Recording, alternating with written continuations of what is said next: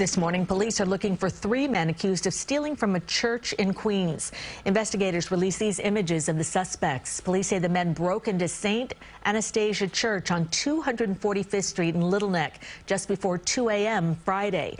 They allegedly took a safe, credit cards, and about $125 before escaping in a light-colored SUV.